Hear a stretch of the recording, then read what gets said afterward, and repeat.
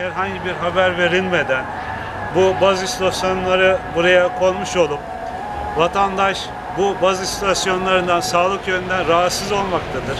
Uykuları kaçmaktadır. Bu rahatsızlığımızı dile getiriyoruz biz ve bunların bir an önce de buradan kaldırılmasını talep ediyoruz. İlgili kurumlara da başvuruda bulunacağız inşallah. Bunun kaldırılmasını talep ediyoruz. Sizin medya aracılığıyla da bunu duyurmak istiyoruz. Teşekkür ediyorum.